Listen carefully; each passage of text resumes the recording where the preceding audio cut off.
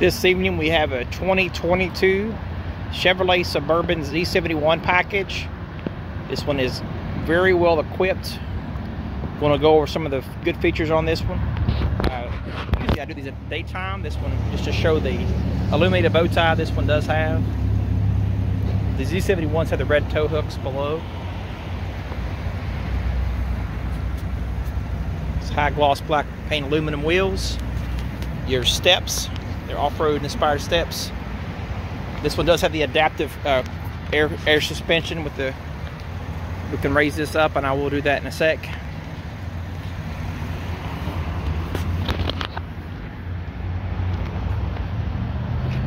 you don't get to see these at night. Of course, all your blacked out features on here, the nameplates are blacked out. Something I didn't go over. With the keys in the pocket, what you'll do is where this bow tie is at on the ground. Is you'll kick your foot like so and that'll open and shut it if the lift, lift gates programmed to be on. These buttons back here lower the seats. The power. These buttons here will tumble the second row. Push it again it'll actually tumble forward third row you can actually raise and lower this back seat. As you can see Suburban has a lot of space in it for carrying your gear.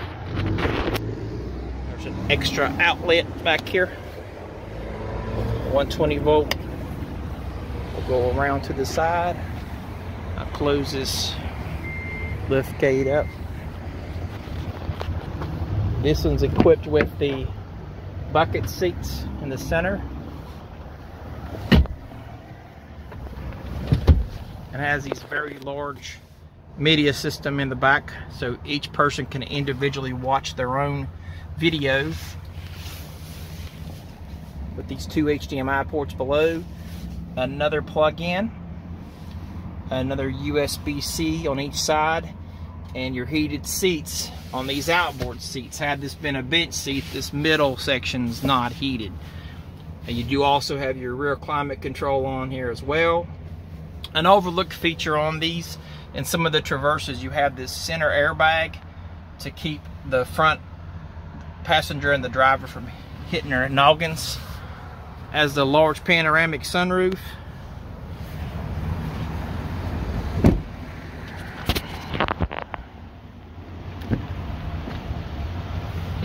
Power driver seat.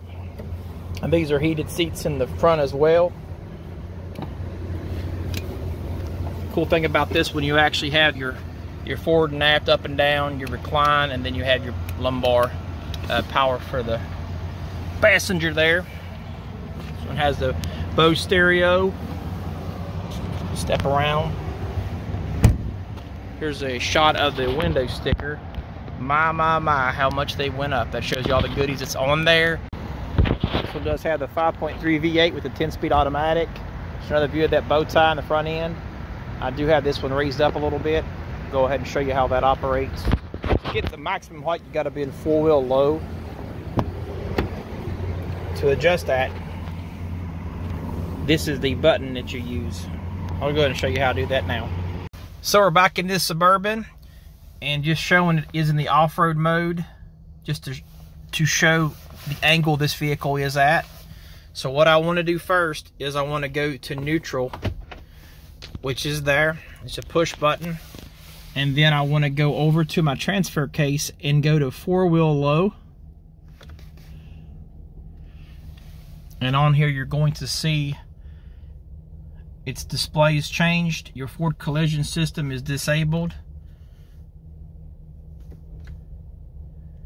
And this is where you can adjust the ground clearance with this dial right here.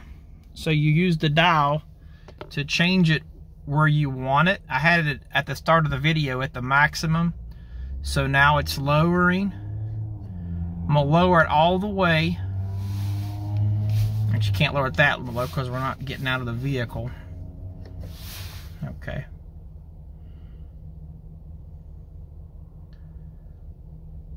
You can hear the vehicle lowering.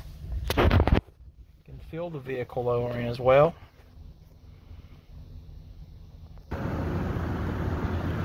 And that's the normal height that the vehicle's at. I'll go ahead and put it back in four-wheel low and raise it.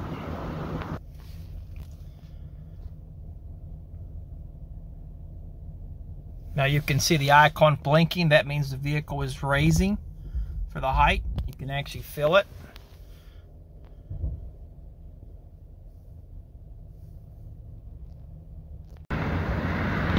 As you can see, it's quite higher.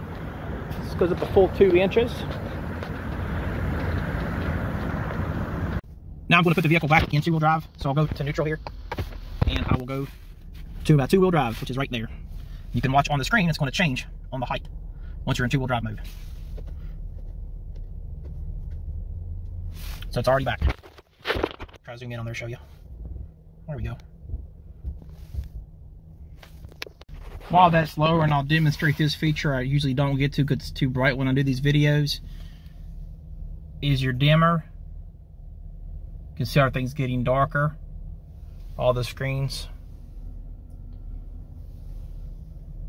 If I want to brighten those up, I just hit this button here. And there you, there you go. Has your automatic headlights.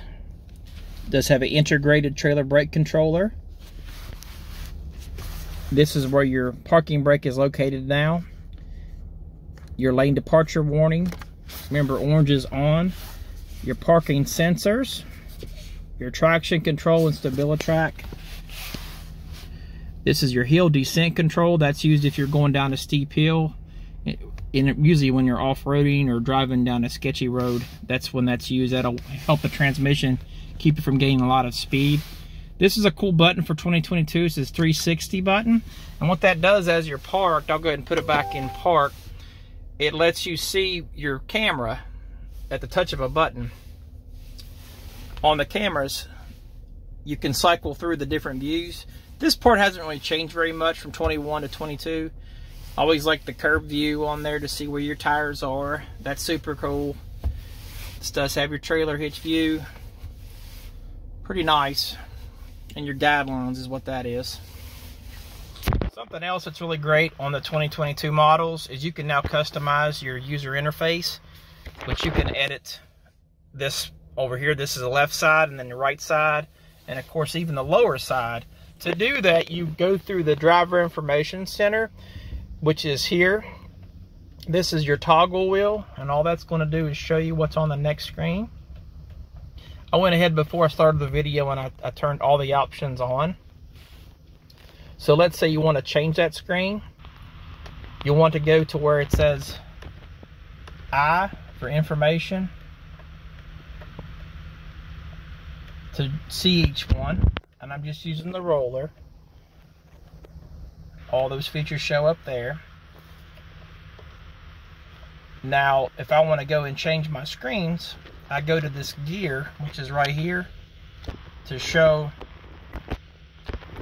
my options and what my info gauge wants to be. So I can customize my left here.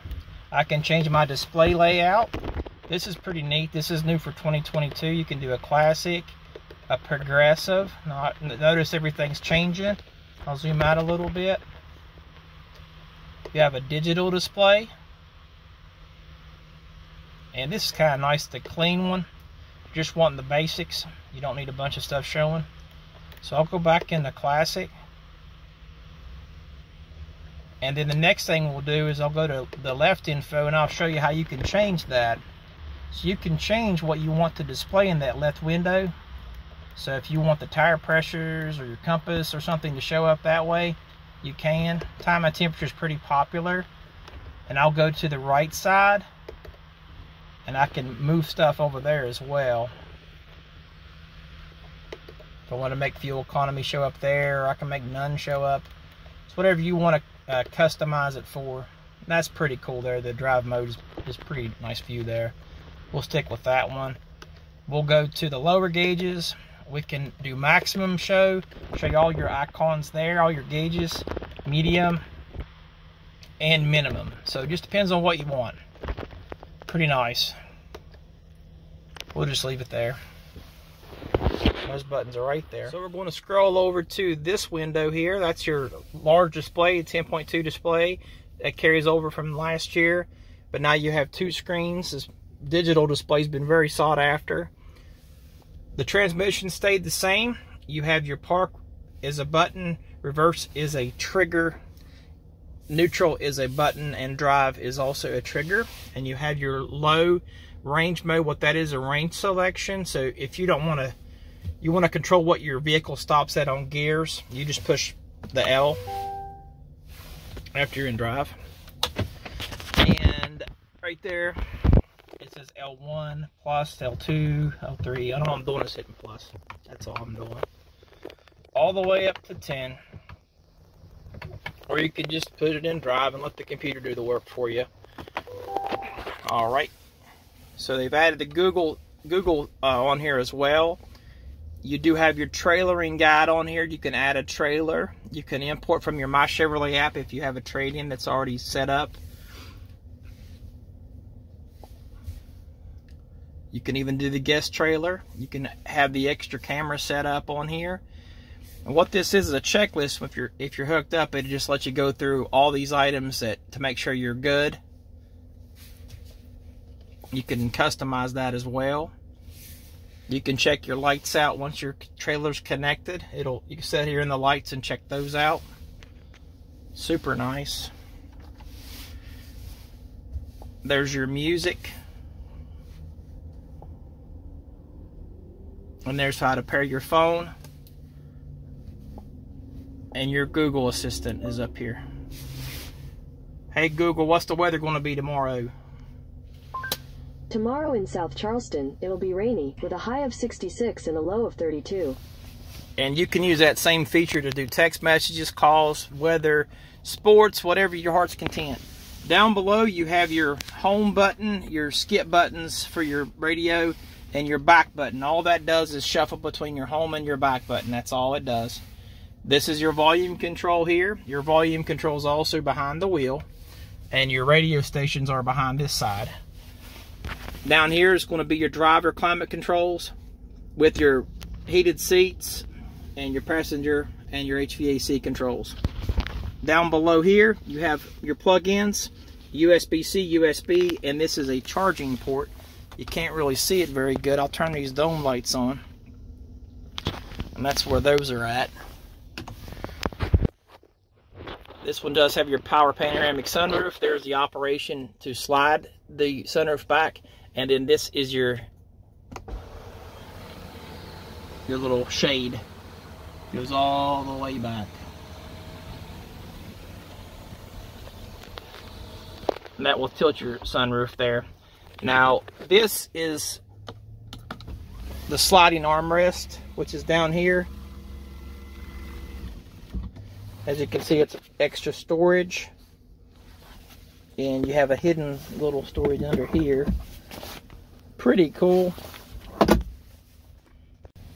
Here's your HomeLink.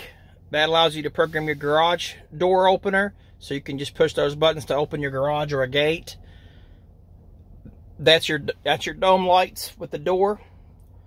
There's your collapsible seats from up here and your power lift gate. You can do max or three quarters simply means program or turn that son of a gun off right there. A lot of even a lot of goodies up there on the top. If you're interested in this Suburban or any other vehicle that we've got, go to buywithbenny.com. Please like and subscribe. Thanks for watching. Have a great evening.